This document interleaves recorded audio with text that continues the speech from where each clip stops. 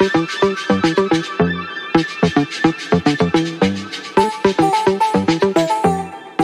you know that companies spend three times more on SaaS and have nearly double the apps than they think they do?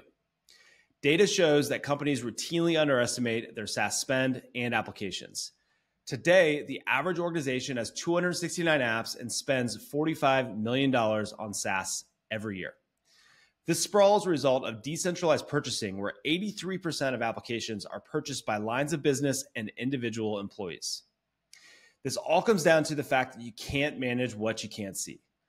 License waste, missed renewals, overspending, redundant software, and security and compliance risks result from a lack of visibility. That's why SaaS inventory management is so important. But what is it and how do you do it? SaaS inventory management is the process of building and maintaining a comprehensive, categorized, and continuous source of truth and reporting for SaaS. It is the starting point and foundation of an enterprise SaaS management program. You need to have a reliable, up to date, continuous inventory wherever you start, no matter your goals. Visibility into all of your apps and data unlocks your ability to gain awareness of security risks, establish clear ownership of applications across the business, make informed rationalization decisions, better manage software spend, streamline IT support, and improve the overall employee experience. So, what steps do you need to take to do this?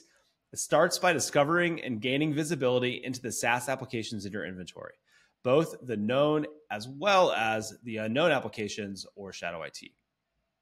There are multiple ways to get to this data, but by far the most accurate and reliable method is financial discovery, which is especially helpful at uncovering all those apps that you don't know about. SaaS management platforms make this easy through automation.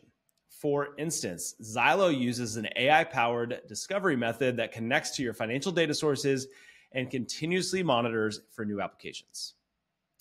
Once you get to this visibility, it'll feel like a fire hose of information coming right at you. You're going to find a lot of apps and there's going to be a lot of data, and it can feel pretty overwhelming. That's where strategic portfolio management can help you prioritize and phase out inventory management. Our team of experts here at Zylo recommend organizing your applications into three tiers in order to do this. Tier one applications.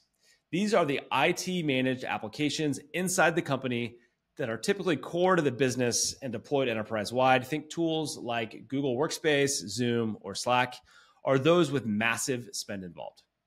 For instance, if IT owns 50 apps, then just focus on those 50 apps as your starting point.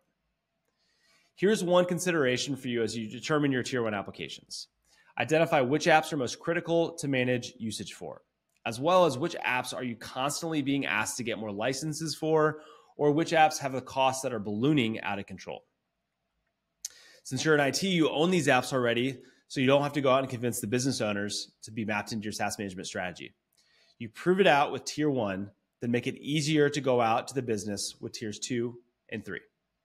So, what are tier two apps? Tier two applications are those that are critical to business processes but not centrally owned by IT. These may be used by multiple departments or cost centers and integrate with your tier one applications. So, consider things like your marketing automation tools, which are integrated into your CRM, or analytics tools that are sitting on top of your data. And then finally, tier three applications. Tier three apps are those chosen by individual departments for their specific needs or their niche use cases and do not directly integrate with your core systems. Examples here would be like project management tools, uh, maybe your email marketing tool, or, or productivity tools. Once you've assigned a tier to each app, it's time to onboard those applications, starting with your tier one apps. As we covered in a previous episode, onboarding is the process of building your SaaS system of record. It helps you answer these questions Who is the owner? Where's the contract? And what's our utilization of that application look like?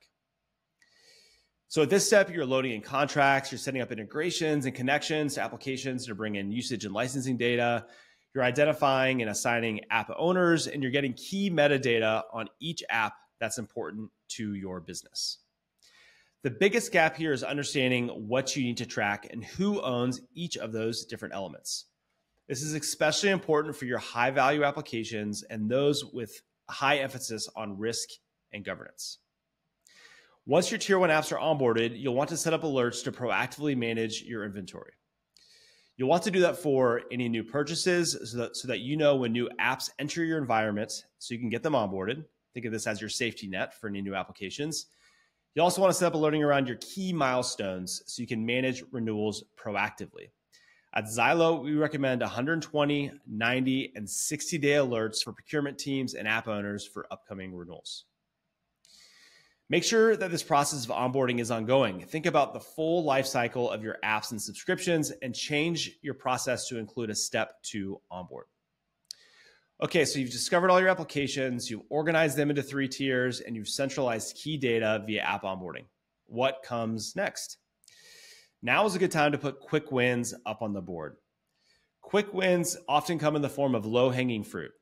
Often companies focus on financial wins. However, you may want to focus on things like purchasing and efficiencies, cleaning up shadow IT, or your security posture, depending on your overall company's goals.